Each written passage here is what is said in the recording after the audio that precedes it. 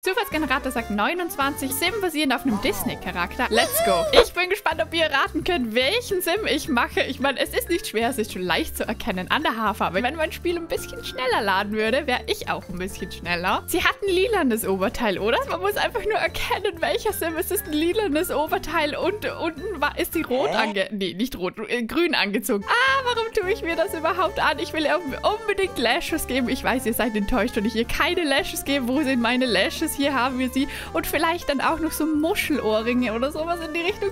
Oh mein Gott, wie viel Zeit habe ich überhaupt noch? Ich finde, man erkennt sie schon. Jetzt könnte man noch ein bisschen Feinschliff machen. Ich habe irgendwo ein total perfektes Oberteil genau für Ariel. Ich meine, jetzt kann ich es euch sagen. Ihr habt eh gewusst, gewusst, gewusst. Oh mein Gott, Leute, ich drehe gleich durch. Wie viel Zeit haben wir überhaupt noch?